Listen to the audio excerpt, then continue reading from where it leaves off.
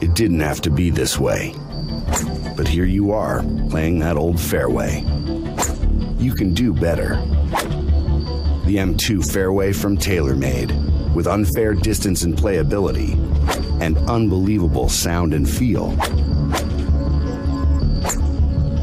It's so complete, we call it the unfair way. If you're not playing it, you're playing against it. My name is Mark Gouger. I'm the PGA Director of Golf and Head Golf Professional here at Timber Creek and Sierra Pines. Here's a little video to show you all about our new app. Check it out. Now we have an app for our golf course.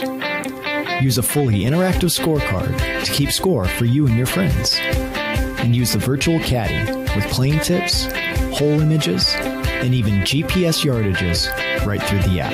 And keeping score is a cinch. Just a click of a couple buttons. And you getting hungry? No problem. With one click, you can view the food and beverage menu at our golf course. And are you looking to do something different and exciting for your next golf outing or tournament? We can create a custom leaderboard for your event where players and teams can follow each other in real time through a live leaderboard. And you can even use the app to post to your Facebook page and share with all of your friends.